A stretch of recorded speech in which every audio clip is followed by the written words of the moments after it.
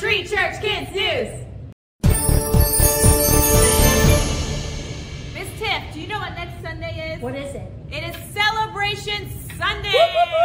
Celebration it's going Sunday. to be so much fun. It is our last Sunday for our Nehemiah series. We're going to have fun, we're going to have games, tons of prizes. You do not want to miss it. Also, it is our last week to do our Family Devo book. So you can put your name in to win the awesome family prize packet. You do not want to miss it. Miss Tiff, can you tell us about our Build 'em Up challenge? Next, we have our Build 'em Up challenge. Make sure you bring your money. This is the last Sunday to bring your money. And then we get to see who wins. Will it be the treehouse, the lodge, the clubhouse? We don't even know. But we're going to flip it to Pastor Phil right now so we know who won last week. Thank you, Miss Tiff. Kids, you're doing great. Let's start with the clubhouse. The clubhouse has collected $209.77. That is so great, you guys. But are they in first place? No. Look how much the treehouse has collected.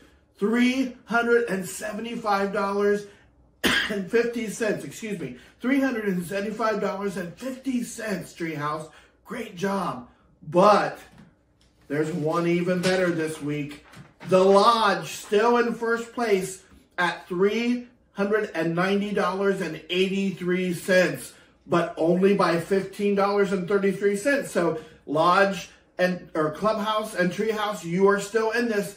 Keep bringing your money. Everyone, one more week. We will tell the winners on the 17th. Great job, guys.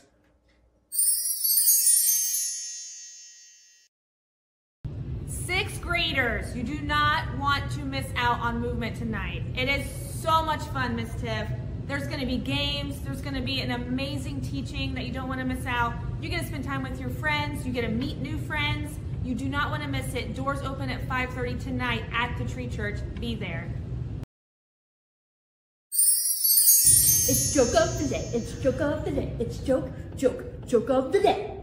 Okay, Miss Tiff, are you excited for this one? I am. I am. Okay. What is a pirate's favorite country? What?